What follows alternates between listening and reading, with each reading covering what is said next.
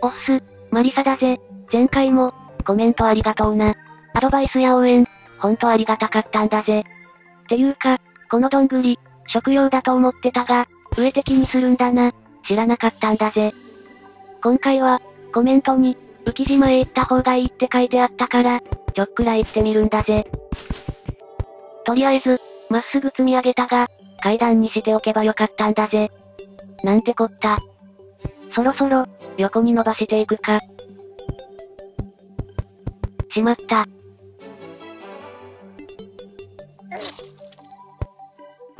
違うんだぜ。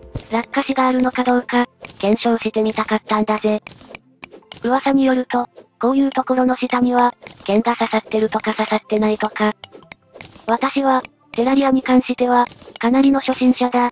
とりあえず、ググってはみるが、アドバイスしてもらえると、助かるんだぜ。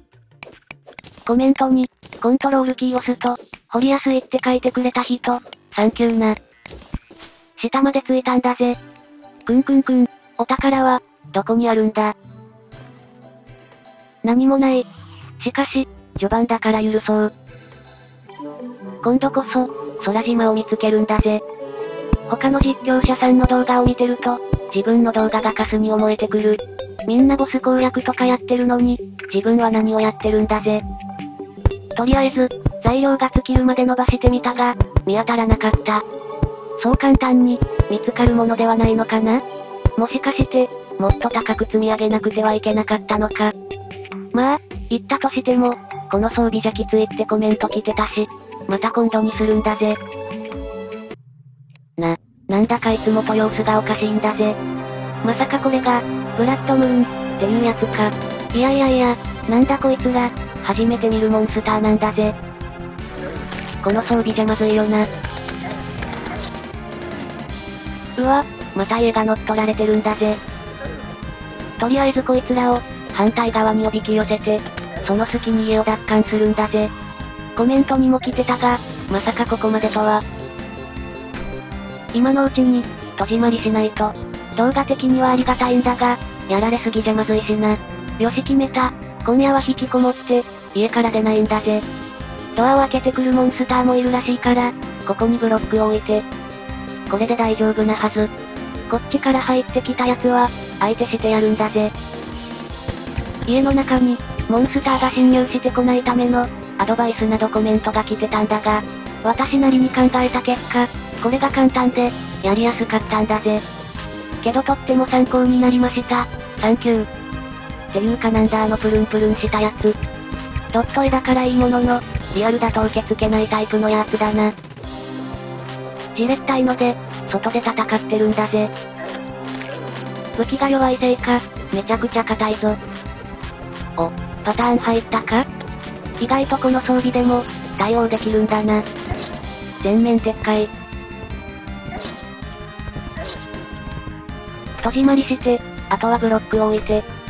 うわ間に合わなかった。フルボッコタイム。頭に帽子をかぶったやつを、見つけたんだぜ。この髪型が好きだから、頭装備は外してたんだが、そうも言ってられないんだぜ。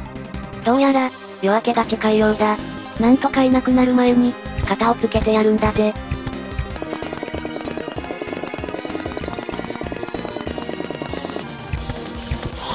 やった、帽子を手に入れたぞ。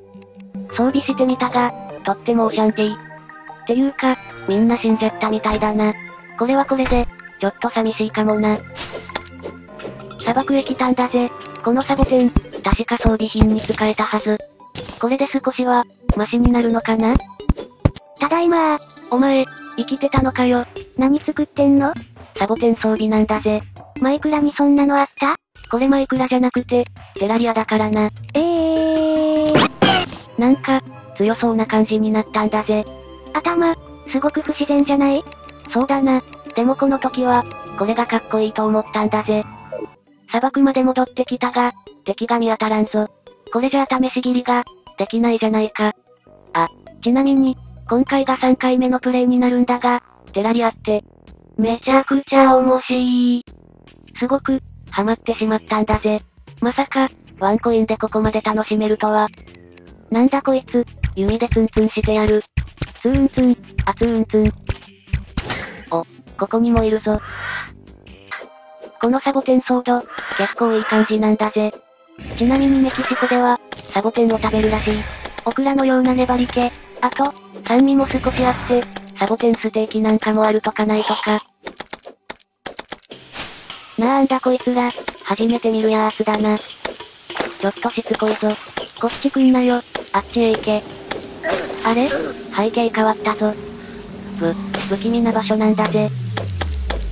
とまあ、今回はここまでだな。いつも、応援、アドバイス、サンキューなんだぜ。よかったら、またコメントでもしてやってください。ではここまでご視聴、ありがとうございました。